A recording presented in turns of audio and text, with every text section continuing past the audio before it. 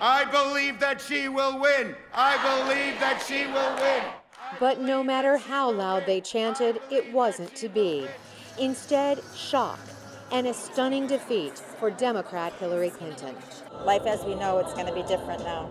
Volunteers who gave hours and even years to Clinton sat in silence. While most pre election polls pointed toward the first female president, in the end, voters spoke and revealed a larger problem nationwide. This is showing that there's this huge divide between sort of uh, uneducated whites and minorities and educated whites.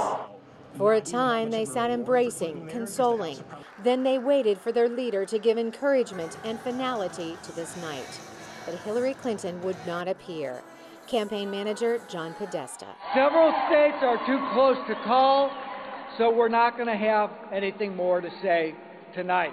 But by that time, Trump was nearing the 270 electoral votes needed to win, narrowing the chance of victory for Clinton. I don't think she accepts it yet, which I find pretty hypocritical because she was just getting on Mr. Trump for not wanting to accept the results. I thought she owed it to the people that showed up here and who worked for her for so long and so earnestly. In the end, Clinton called Donald Trump to concede and congratulate him on his victory.